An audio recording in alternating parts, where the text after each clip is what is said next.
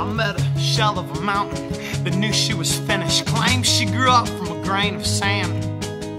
With every year wider, she bloomed a little bit longer to the roof of the sky with outstretched hands. She made friends with the sun, shared enemies with no one. And counted weak sight, she should have counted days. And swallowed handfuls of nights so she could sleep tight and turn her thoughts from its stone cold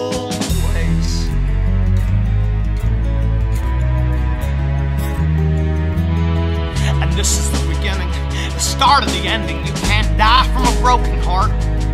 But from the time the sun rose to the space where it fell away, she would love and it wouldn't take part. And every, every day she would echo, echo. In every single way she should let go, let go. But it had her in its sights, Cupid's icy arrow, so.